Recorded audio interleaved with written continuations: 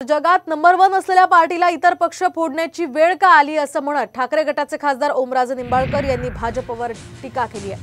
आता राज ठाकरे यांच्या मनसेच्या मागे लागल्याचं ते म्हणालेत. भाजपच्या बोलण्यात आणि वागण्यात अंतर पडलंय म्हणून ही वेळ आल्याचं खासदार निंबाळकर यांनी म्हटलंय.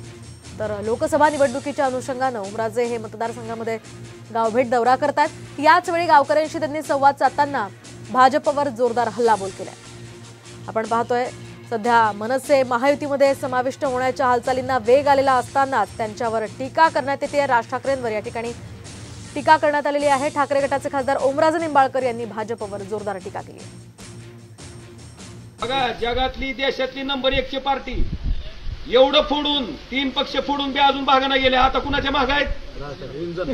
आता रिंजनाच्या माग लागले राज ठाकरेच्या. म्हणले तू ये आमच्यासोबत मला वाटतंय देशातल्या जगातल्या नंबर एक पार्टीला ही वेळ का आली? का आली? त्याचं कारण आहे. त्यांच्या बोलण्यामध्ये वागण्यामध्ये अंतर पडलं म्हणून ही वेळ आली.